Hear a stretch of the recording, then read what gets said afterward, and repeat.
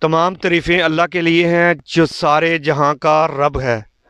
السلام علیکم viewers, my name is تلنسوز بلوچ فرام وزیر آباد۔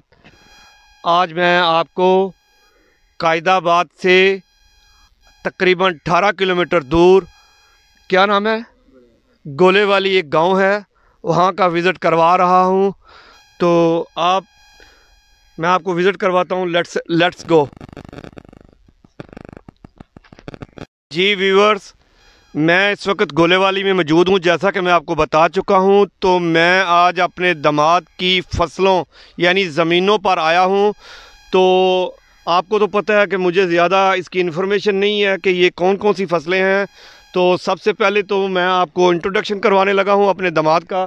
یہ انہی کی زمینیں ہیں۔ تو یہ وہی آپ کو بتائیں گے کہ یہ اس فصل کا کیا نام ہے۔ السلام علیکم۔ وعلیکم السلام۔ ذرا تھوڑا ناظرین کو بتائیے پہلے اپنا انٹروڈکشن کروا دیجیے کہ اپنا نام کیا ہے۔ میرا نام محمد ناصر ہے اور میرا تعلق جو ہے وہ اسی گاؤں سے ہے اور میں نے جو ہے گاؤں کا نام پھر بولا گاؤں کا نام گولے والی اور میں نے ایم فل کیا ہوا ہے۔ مجھے زیادہ تر جو ہے زمینوں میں اتنا انٹرسٹ تو نہیں ہے لیکن پھر بھی مجھے فصلوں کے بارے میں اچھی خاصی معلومات ہیں۔ تو آپ کا ٹائم ضائع کیے بغیر میں آپ کو بتاتا ہوں کہ یہ جو پودا ہے یہ جس کا ایک پتہ میرے پاس ہے اس کو گوارا کہتے ہیں۔ اور اس کے جو دو ہی استعمال ہیں یا تو اس کو جانوروں کے چارے کے لیے استعمال کیا جاتا ہے یا اگر اس کو پکایا جائے اور اس کے بعد اس کے جو بیج ہیں ان ان کو کاسمیٹ یہ جو چیزیں ہوتی ہیں، اپنا میک اپ کا سامان وغیرہ جو پاؤڈر بنائے جاتے ہیں، جو کریمیں بنائی جاتی ہیں، تو ان کا استعمال اس میں بہت زیادہ استعمال کیا جاتا ہے۔ اس کے علاوہ جو بیکریز کی چیزیں آپ کو ملتی ہیں، جیسے آپ کو ڈبل روٹیاں ملتی ہیں اور آپ کو جو کیک ملتے ہیں، ان میں جو پاؤڈر استعمال ہوتا ہے، اس کے اندر بھی اس کے جو بیج ہیں، ان کا جو ہے وہ کچھ نہ کچھ چیزیں شامل کی جاتی ہیں۔ جب تقریباً دس بارہ سال پہلے جب پاکستان کے، فرانس کے ساتھ بہت اچھے تعلقات تھے، تو اس کی جو ایک کلو کی قیمت ہے، وہ چار ہزار تک پہنچ گئی تھی۔ لیکن پھر پاکستانیوں کی دو نمبری کی وجہ سے انہوں نے اس کے بیج کے ساتھ بجری شامل کر دی تھی۔ تو فرانس نے ہمارے ساتھ معاہدہ ختم کر دیا اور اس کی وجہ سے جو ہے زمینداروں کا جو مطلب منافع تھا وہ بہت کم ہو گیا اور اب اس کی قیمت جو ہے وہ پچاس روپے پر پہنچ گئی ہے۔ پچاس روپے کلو پر۔